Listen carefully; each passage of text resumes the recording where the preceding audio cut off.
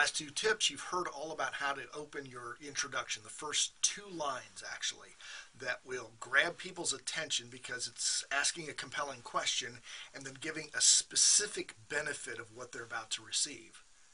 In the third line of the introduction, you can now introduce some information about yourself, however, in a way that talks about benefits that you've provided to other people, like the individuals in your audience.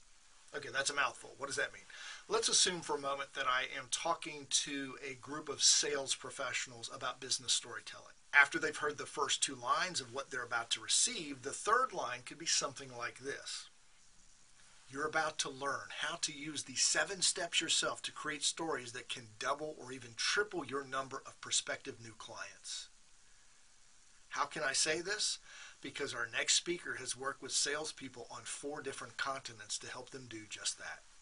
What do these next two lines say? Number one, it still focuses on the audience. What's the benefit they'll get? An additional benefit. They may double or triple their number of new prospective clients. That's huge. That's what salespeople want. Then transition to my credibility. I've helped salespeople on four different continents do this.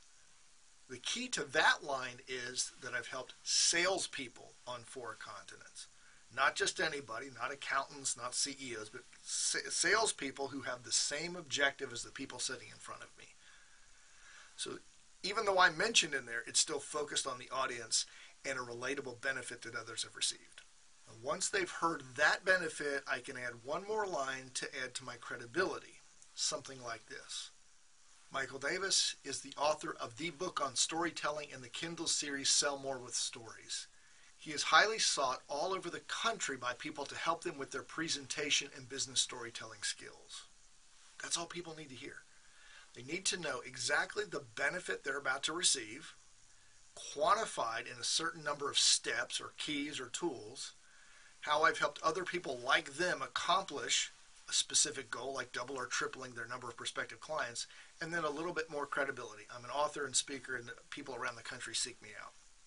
That's all they need to hear. In the next tip, you'll hear how to close out your introduction to set the audience up to want to hear the first words of your speech. See you then.